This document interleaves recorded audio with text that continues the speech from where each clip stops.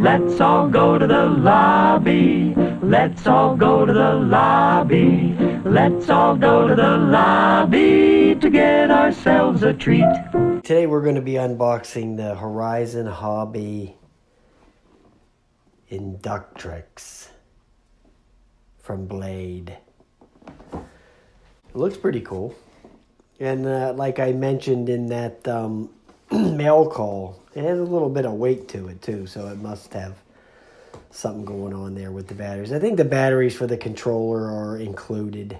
It has Spektrum DSMX technology. I have no idea what that means. Quiet duct fans, ready to fly. Everything's in the box. It was real cheap. I mean, I got it, this thing really cheap. It was one of them Black Friday deals, so it must be like some kind of discontinued model or something of that nature. Let's just crack it open and see. Because I never opened it, so this is the first time opening it. Here's all the documentation. And there's a lot of it too. Okay, a lot of pamphlets and man, get out of here with all that. It has the batteries for the transmitter in here.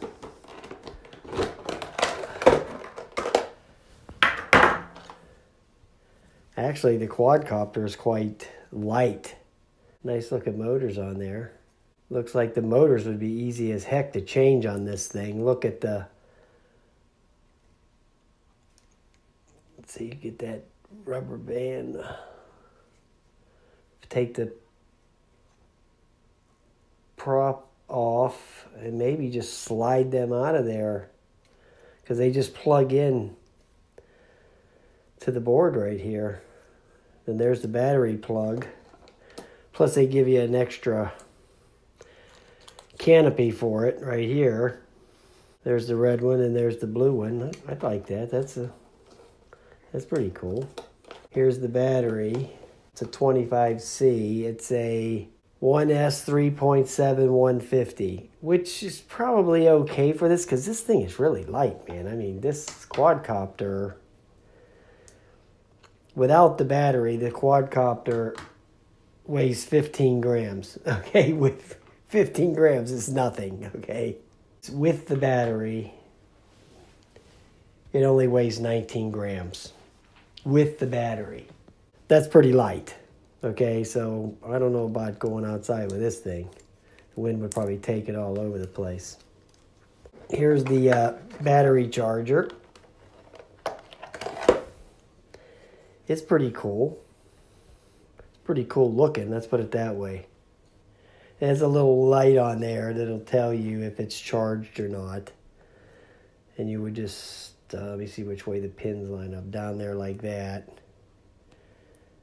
And you could plug it in there like that. Let me grab my battery real quick and then we can see what how the lights work. Here's a little portable power cell. So you would plug the battery in here says never leave unattended. And then you would uh, plug the battery into it like that. And so the red light will come on. So I'm sure when the red light goes out, then it's charged. You know, so that's a pretty cool deal. Yeah, pretty cool, pretty cool. And then we got this awesome looking transmitter. Now this is the part that's actually pretty cool on here. There's the modes right there, the mode one and two. And it says binding. It gives you uh, some instructions here how to uh, bind the unit.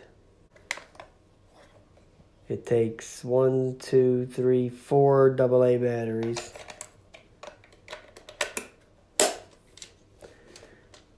Real nice antenna on there if it's real right?